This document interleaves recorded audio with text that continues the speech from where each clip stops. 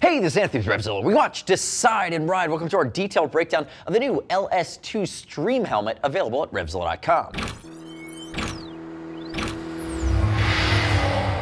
New for 16, this is the LS2 Stream. I would classify this as a great entry level, more universal but sport oriented helmet. If we look at it, you're just in around or just over the $100 mark. There's a lot of helmet here. DOT ECE, 3 pounds 9 ounces, drop down sun visor, and a partridge in a pear tree. It does a lot. Now, will I say that it's over the top and blowing me away for the price? No, I think that it could vent a little bit quieter, it could vent a little bit better. It's going to have limited clearance for speaker pockets, but I'm going to get into some of that. All in though, for what you're investing here, to think about a universally oriented sport helmet, that the biggest key call that I haven't mentioned yet is that it's long oval. This is a rock solid option. So let's talk about long oval for a second. This is going to allow probably 90% of you to stop watching the video. This helmet is long oval in its head shape. My head shape is not going to be long oval. I am an intermediate oval head shape, so I'm a little bit longer front to back. This helmet is thinner, longer, and more narrow. So at the high end of the spectrum, we have something like the Arai Signet Q.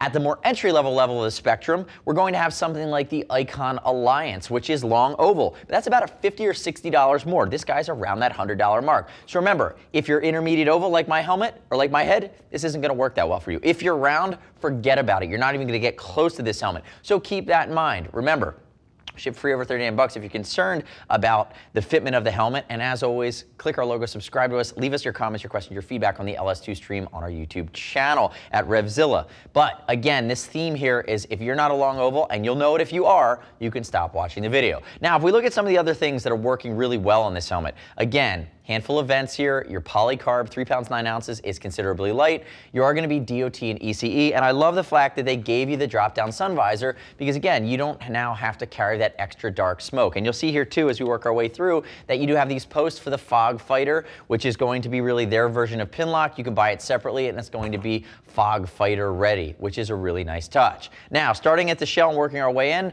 reasonably light, polycarb. If we get into the vents, is one of the things that I don't like, and I don't like the vents for two reasons. One, one, it is around a $100 helmet, but the vents are a little bit cheap and the materials they use to construct them. Again, I can only dock them so many points. They're not charging you $200 here. But my bigger issue is they're smooth and slick, and they're going to be harder to find with a gloved hand. So again, venting on top, not blowing me away, but not really disappointing me. But again, if you know where they are, it'll take you a little bit of time to get the hang of them depending on the beefiness of the glove you might use. Also, when we look at this chin vent here, the chin vent isn't going to be the highest quality chin vent. But again, it's an entry level helmet, so I'm going to give that to it. That's what it has working for it. When you get into the shield mechanism here, it is a solid shield mechanism. Ultimately, you have a decent gasket that's going to move up and around the top and bottom. You can see how it's framed out for really this full visibility fog fighter lens here with these posts that I already talked about. What I don't like about the shield is there's no detent. There's no city position. I don't have a couple detents that allow you to adjust where it sits. It's either open or closed. And I'll tell you, to get this center locking mechanism to work, you have to push it down kind of hard. Now it kind of catches. If I do it gently, there's no way for me to get that to lock into place. It might break in over time, but in the time that we spent for it, we found that you had to press it down pretty hard to get it to lock in. It's also not going to be one of those mechanisms that sucks the shield back when it goes down. It's just very simple in its design.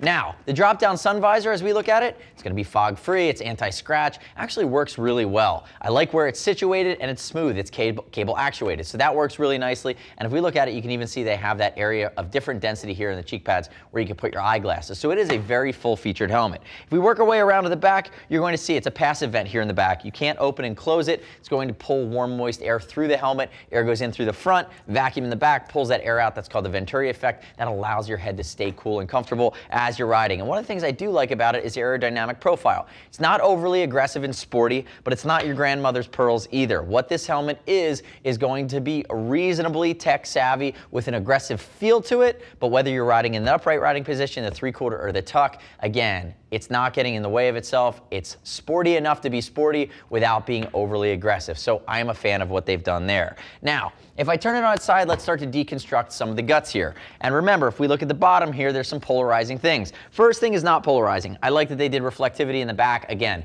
you're going to be in the three-quarter tuck. Somebody's going to see you from behind. That's a nice touch. The way the neck roll is constructed is is going to be very soft, but to remove it is a little bit harder. So remember, as they've done these, they've used I'm pulling this guy out here. They've used these pins that slide into the front. They're a little bit harder. I've seen other manufacturers do that. I'm still waiting for them to tell me the easy way to do it without bending them as I pull them out. We have to figure that out. But again, High quality materials here, I actually like it. It's, it's going to be synthetic leather, but I like the fact that they gave you the reflective pop. Now, if we work our way into the interior guts, now we're gonna have our cheek pad mechanism. And what you're seeing me do here is I'm pulling it out over the micrometric ratchet. Now, Cheek pad's gonna be contoured, remember, different density up there where the eyeglass would go. And you can see the cutout for the ear. Now the cutout for the ear does have a cutout in the helmet, and that's where your speaker would go with the Bluetooth device. Two things about Bluetooth. One, it's that long oval shape, so it's gonna be tighter and narrower. You're gonna have less room for a heavier or a bigger speaker. Just know that going in. You can't get a thick speaker with this helmet. The second thing about Bluetooth, we go past the cheek pad for a second, notice that it has this ridge along the side. You're probably gonna have the best success using a sticky mount with a helmet like this. Now it isn't a heavy plastic, it's more of a rubber, so that rubber should conform to a clamp mount if you want to go there, but you are going to be compressing that neck roll or that rubberized gasket. Keep that in mind. Now, the other thing I just called out as we're working our way through is notice they do have the micrometric ratchet. This is something in Europe that's very popular. In the States, some guys like it, some guys and gals don't like it. Again, it's personal preference. It is a one finger release. You can see how that works there. It's a high quality design, but at the end of the day, it's not a double D ring. So make that decision before you go into this and understand what you're buying pull out the other cheek pad. You're going to see how that all works as I deconstruct it here. And as we start to work towards the front, you're going to notice they have that quilted design. It's done in pleather in the front here behind your chin bar. And as I pull it out, you can see once you pull the neck roll out and you pull the cheek pads out, your comfort liner comes out pretty simply. So I'm going to pull the comfort liner out. Not the beefiest comfort liner I've ever seen. There's basically no snaps that are gonna come in contact to your head. No forehead, no occipital snaps here in the back. Big open areas for airflow. Again, it's basic, it's done well. For around the $100, it's a rock solid helmet. And if I open the helmet up, notice they're using a bit of 3D mesh to coat the inside of the lid to keep things in place. And you can see that the vents are going to be on top and behind that. Again, not the most aggressive shell cutout scheme here on the EPS, but it will flow air. Again, all in, a lot of features on this helmet. You're going to have your speaker cutaways, your drop down sun visor. You do have a high quality shield mechanism. Again, I've talked pretty honestly about my issues with the helmet, but you have to take it with a grain of salt for two reasons. One, because it's my opinion, and two, because for around the $100 mark, which I've talked about incessantly in this video, you can only dock them so many points when you're going to see other manufacturers come out with a helmet that might be 150 or 200 and could be in the same range of features here. So again, I like the fact that they're able to save you money, but again, you're not getting a Rolls Royce, you're not even getting a BMW here here. You're going a little bit more economical with this LS2 Stream. Keep that in mind. You can step up to other helmets in their line. There's a ton of them, and they begin to round out some of the more quality-centric features as you go up in that two or three hundred dollar mark. Now, the next step in your journey is to click the info button, your desktop, your mobile device. Visit the product detail page at RevZilla.com. Read other rider reviews of the LS2 Stream. You shouldn't just take my word for it. As always, we'll ship for free over 39 bucks. If you want to talk to a gear geek, see us at RevZilla.com or 877-792-9455. Thanks for watching our detailed break breakdown. Remember, subscribe to us at RevZilla on our YouTube channel. Stay up to date with our opinion of the latest and greatest in the moto universe. I'm Anthony. We'll see you next time.